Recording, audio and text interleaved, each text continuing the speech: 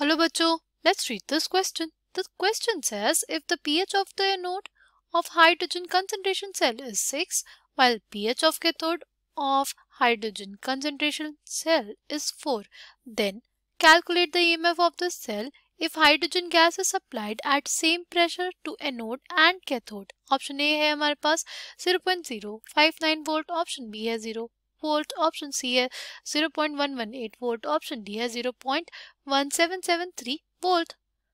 The key concept for this question is हमारे पास अगर देखें तो कैथोड पे क्या रिएक्शन होगी? कैथोड पे हमारे पास होती है रिडक्शन की रिएक्शन ठीक है तो हमारे पास जो H प्लस होगा वो हमारे पास रिड्यूस हो रहा होगा किसमें? और रिड्यूस हो रहा होगा हाइड्रोजन गैस में।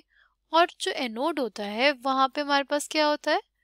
ऑक्सीडेशन तो वहाँ पे हमारे पास जो हाइड्रोजन गैस है, वो बदल रही होगी किसमें H प्लस में। ठीक? नाउ अगर हम लोग बात करते हैं इस सेल के ईएमएफ के लिए तो हमारे पास क्या हो जाएगा? हो जाएगा E cell is equals to E naught cell minus 0.0591 by N log. Log में हमारे पास क्या हो जाएगा? हो जाएगा प्रोडक्ट बाय रिएक्टेंट ठीक? अच्छा। अब ना, इसके लिए जो ई नॉट सेल है, वो हमारे पास क्या हो जाएगा? वो हमारे पास आ जाएगा ज़ीरो ठीक? क्योंकि हम लोग स्टैंडर्ड कंडीशंस ले रहे हैं तो उसमें ई नॉट सेल जो जाएगा ना, वो ज़ीरो जाता है हाइड्रोजन के के लिए, ठीक है? तो हमारे पास ई सेल क्या आ जाएगा? E cell will be equal to zero point zero five nine one n क्या है? The number of electrons involve एक ही इलेक्ट्रॉन इन्वॉल्व है log with the base ten product product में हमारे पास क्या है? प्रोडक्ट में हमारे पास हो जाएगा concentration of H plus at anode ठीक?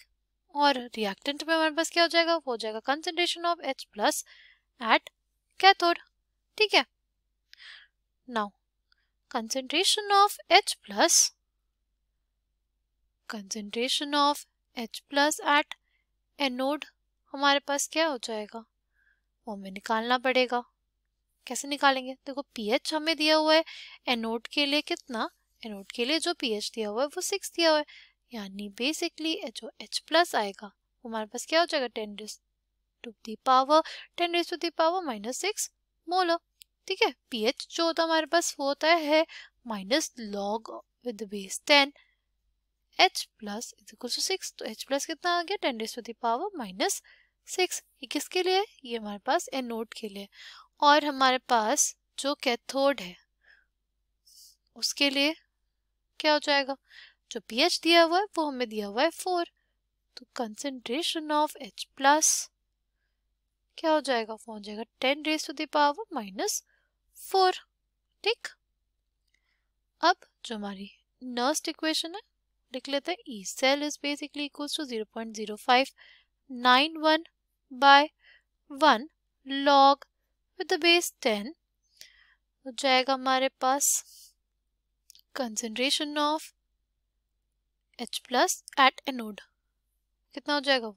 Ten raise to the power minus six by ten raise to the power minus four ठीक है? तो हमारे पास जो ई सेल आएगा ना, क्या आ जाएगा? वो आ जाएगा minus zero point zero five nine one by one log with the base 10 10 raised to the power minus 2 ये कितना आ जाएगा हमारे पास ये हमारे पास आ जाएगा E cell is basically equals to 2 into 0.0591 ठीक ई सेल कितना आ गया E cell will be equals to 0.1182 volt coming back to the question correct answer for this question will be option C I hope you understood it well. Thank you and all the best.